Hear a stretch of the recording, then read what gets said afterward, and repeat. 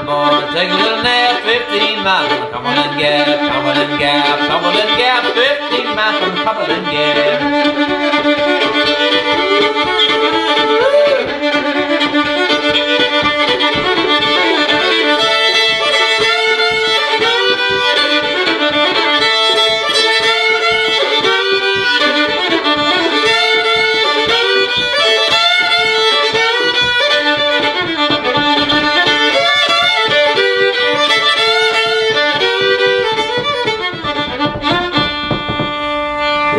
he does see singing while he's playing like that, a lot of the old time fiddlers that I knew, they sang and played at the same time.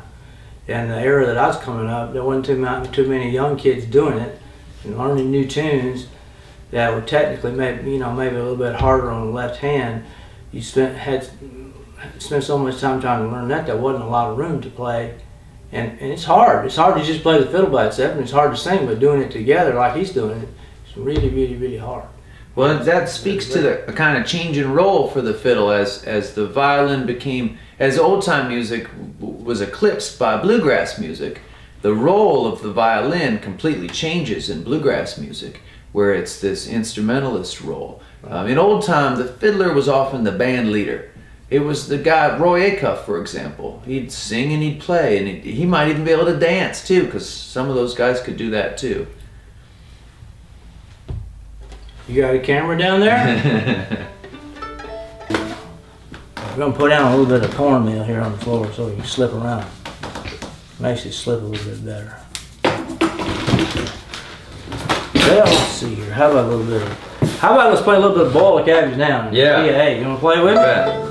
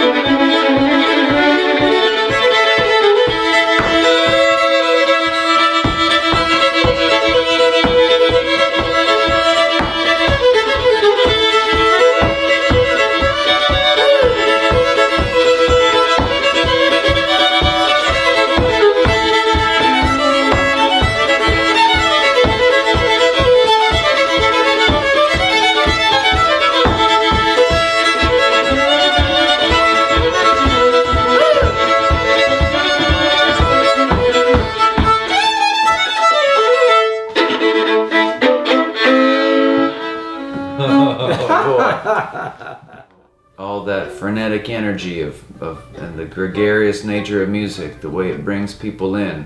When you're playing it, it's, it's as if the audience is a, member of the band too.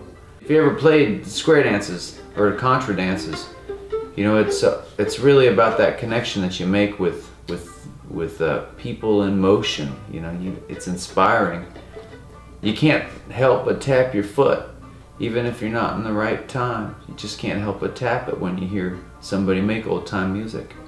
And it's important to note that that the old time music that that we're hearing here, it's not a relic, it's not a timepiece, it's not behind glass, it's not uh, in a museum.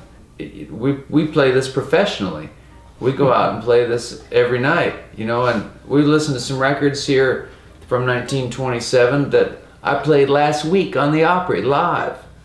You know, it ain't dead. It's uh, it's really it's just getting started up again, and there's a whole new generation of people um, that are listening to it and cutting their teeth on on uh, their first uh, Riders in the Sky record or their first Old Crow Medicine Show album, and uh, and are headed you know headed back and looking for more just like it.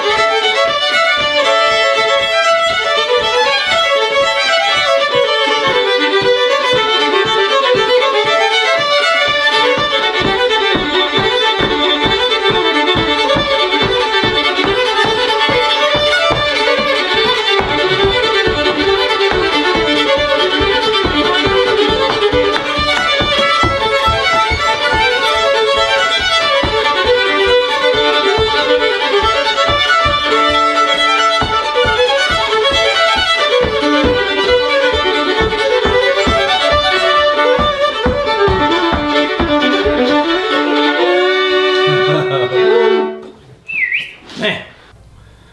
That'll make you old time really fast playing like that. I think one of the characteristics that, that makes it truly old time is you'll hear less like this five or six different records of different guys playing and it's really a different thing it's really a different tune and uh, i think that is a you know you don't see that in the in the symphony hall you don't see that in uh, the pop charts you, you know you and it's got a there's an improvisational aspect to it. There's a makeshift aspect to it, and the guy can't can't tell what the great guy on the radio is doing, so he has to do something that he can do, you know, that works. And um, you know, there's a lot of jacklegs. That's why they call it fiddling. There's a whole lot of just fiddling around trying to find something that suits you, and then that you can you know excite and entertain somebody else with, especially another fiddle player.